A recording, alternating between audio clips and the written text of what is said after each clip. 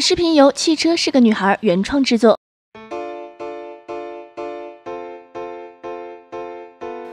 随着中国经济的发展，买私家车的越来越多了。可是这么多的私家车管理上也造成了难度。今年国家新出来了一些法律法规，以下五种违规不再扣分，而是罚钱。让小编带大家看看是哪几条吧。第一项就是占自行车道。对于机动车占领非机动车道，一直以来就是一个比较有争议的话题。以前对于这种行为都是扣分，现在是处以两百元以下的罚款。第二项就是违章停车，因为现在私家车越来越多，而停车费又有限，所以违章停车的现象屡见不鲜。对于违章停车的现象，会罚款二百元。第三项就是车窗车尾安放挂件，很多人为了装饰爱车，把车内布置的五花八门的，可是车窗旁挂件在出现车祸时，很容易伤到车内的人，这种情况会处罚两百元以上。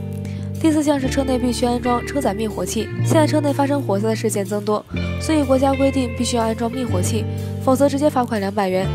最后一项是开车扔垃圾。要知道，开车扔垃圾不仅会影响道路卫生，更有可能造成安全问题。一旦遇到乱扔垃圾，将会被直接罚款两百元。